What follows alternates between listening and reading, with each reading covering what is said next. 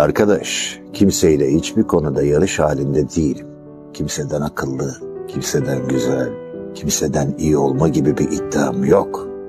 Kimse için en değilim, daha değilim. Bu devasa iddiasızlığın bana verdiği özgürlüğün hastasıyım. Sabahattin Ali, Kürk Mantolu Madonna.